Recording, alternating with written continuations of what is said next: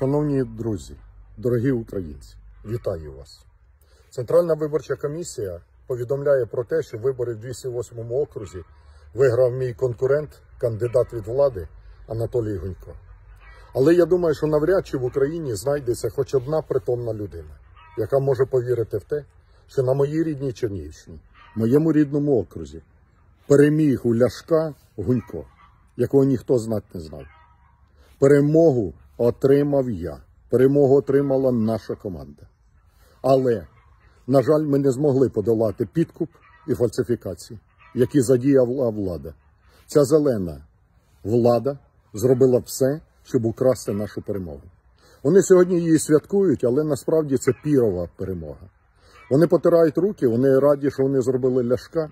Ні, я хочу вам сказати, ви зробили самі себе. Тому що ви це зробили, вкрали людські голоси, вкрали нашу перемогу ціною позору, позору і приниження. Ніякий мандат не вартує того, щоб принижуватися і втрачати честь і гідність.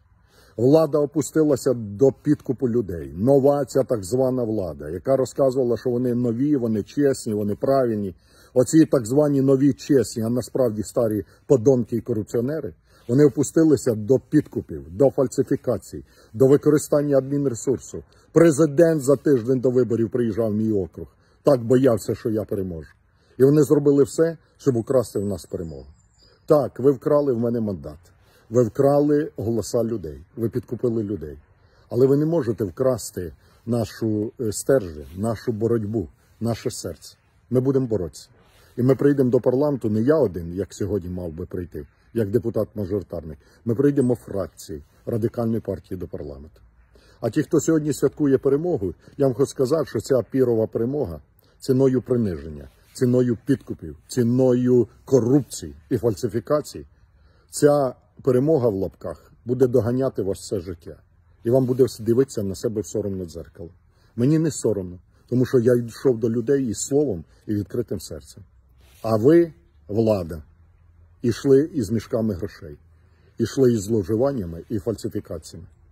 Соромно буде дивитися в очі отим так званим правоохоронцям, які розказували, що вони е, долають підкупи, а насправді кришували сітки підкупів і ганебно провалили завдання по організації і проведенню чесних виборів. Я дякую всім виборцям, я дякую всім людям, які проголосували за мене, які підтримали мою команду, які вірять мені. Я хочу вам сказати, що всі наші перемоги попереду. Черчилль говорив, що таке перемога. Від поразки до поразки рухатися з оптимізмом. Ці поразки, ні, я ось скажу, ми не програли. Ми перемогли на цих виборах, чесно. Але ми не змогли здолати підкуп і корупцію. І підкуп і корупція спотворили, сплюндрували результати народного волевиявлення у 208 окрузі. І про це свідчать факти. П'ять соціологій, які ми проводили, різні авторитетні соціологічні контори, які проводили до виборів, ні одна з них не давала мені поразки. Усі вони давали перемогу з великим відривом. Остання соціологія за три дні до виборів давала 11% розрив між мною і кандидатом від партії влади. Аномальна явка на виборах по 70-80% саме на тих дільницях переміг кандидат від влади. До речі, одночасно ж проходили і місцеві вибори. Так от в цьому окрузі ми вдвічі більший результат радикальна партія набрала від партії влади Слуга народу. Тобто, ви розумієте, да, кандидат від влади, начебто, перемагає Ляшка, але його партія набирає вдвічі менше за партію Ляшка. Це ще один доказ масштабних фальсифікацій у 208 окрузі. Ми достойно пройдемо цей шлях випробувань. Ми з гідністю перенесемо втрати і поразки, втрати того баласту, який зараз буде відколюватися. І я впевнений, що прийдуть нові люди і прийдуть нові перемоги. Вірте в себе. Я дякую всім, хто мене підтримав. Я дякую, що ви продовжуєте підтримувати. Всі наші перемоги попереду. Вірте в себе. Пам'ятаєте, є така притча. А хто не знає, розкажу. Сидить бідняк, втратив корову, дружина пішла, хата згоріла, сидить, плаче. Іде мудрець і каже йому: не завжди так буде.